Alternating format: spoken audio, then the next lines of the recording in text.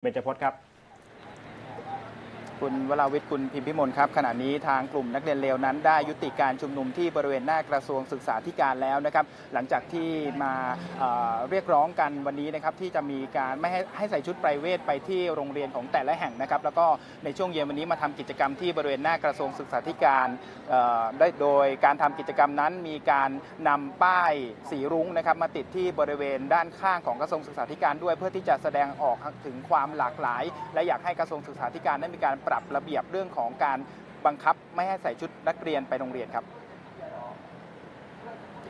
กลุ่มที่เรียกตัวเองว่านักเรียนเร็วนำชุดนักเรียนมาแขวนไว้ที่บริเวณประตูทางเข้าออกของกระทรวงศึกษาธิการถนนราชดำเนินนอก เพื่อแสดงออกเชิงสัญลักษณ์ ถึงการไม่เห็นด้วยกับระเบียบการบังคับให้ใส่ชุดนักเรียนไปโรงเรียน พร้อมกับแขวนป้ายข้อความชุดนักเรียนไม่ปลอดภัยนะครับที่บริเวณป้ายกระทรวง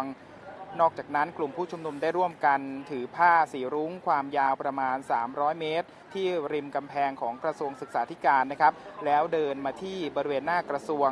จากนั้นได้ติดผ้าไว้ที่กำแพงของกระทรวง เพื่อที่จะแสดงออกถึงความหลากหลาย และอยากให้กระทรวงนั้นมีความหลากหลายให้มากขึ้น เปรียบเสมือนกับกำแพงของกระทรวงที่เดิมมีแต่สีขาว วันนี้จึงมาเติมสีสันให้กระทรวงครับ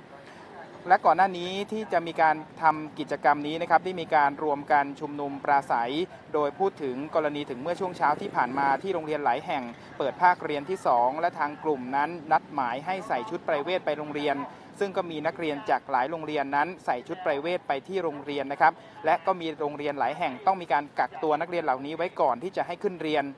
ซึ่งตั้งแต่ช่วงเวลาประมาณ 16 นาฬิกาที่ผ่านมา มีนักเรียนทยอยเดินทางมารวมตัวกันที่บริเวณหน้ากระทรวงศึกษาธิการ โดยมีทั้งนักเรียนที่แต่งชุดนักเรียนมา และใส่ชุดไปเวทมาร่วมชุมนุมนะครับซึ่งการชุมนุมวันนี้มีการพูดถึงผลกระทบถึงโรงเรียนที่มีนักเรียนใส่ชุดไปเวทไปโรงเรียน และ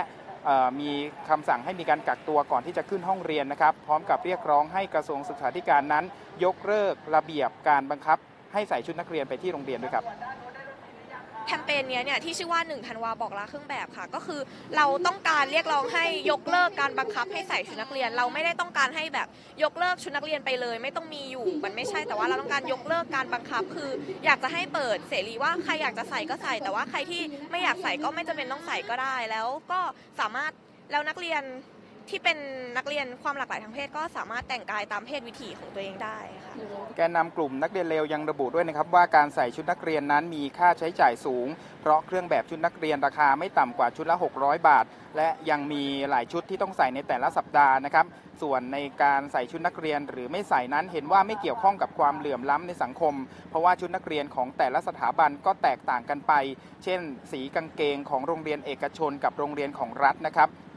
แกนนำกลุ่มผู้ชุมนุมยังระบุว่าหากไม่ใส่ชุดนักเรียนไปโรงเรียนถือว่าไม่มีความผิดและบทลงโทษ เพราะว่าตามกฎระเบียบของกระทรวงศึกษาธิการนั้นระบุว่าสามารถลงโทษนักเรียนได้ 4 สถาน ก็คือหักคะแนนทำทันบนเรียกผู้ปกครอง และบำเพ็ญประโยชน์สาธารณะนะครับ นอกจากนั้นกลุ่มผู้ชุมนุมยังได้มีการแจกสายรัดข้อมือแบ่งเป็น 2 สี คือสีส้ม คือนักเรียนที่เด็กอายุต่ำกว่า 15 ปีนะครับและสีชมพูก็คืออายุตั้งแต่ 15 ถึง 18 ปี ซึ่งสำหรับการจัดชุมนุมในวันนี้นะครับ ทางแกนนำมีการขออนุญาตจัดการชุมนุมกับกองบังคับการตำรวจนครบาลหนึ่งด้วย และระบุว่าจะยุติการชุมนุมภายในเวลา 20 นาฬิกาซึ่งขณะนี้ก็ได้ยุติการชุมนุมไปเรียบร้อยแล้วครับ ทางแกนนำยังระบุด้วยนะครับ ว่าหลังจากนี้จะยังคงมีการจัดกิจกรรม แล้วก็แคมเปญต่าง ๆ อีกสำหรับกลุ่มนักเรียนเลวนะครับ แต่ว่าทางกลุ่มผู้ชุมนุมนั้นยังคงบอกให้ติดตามในกลุ่ม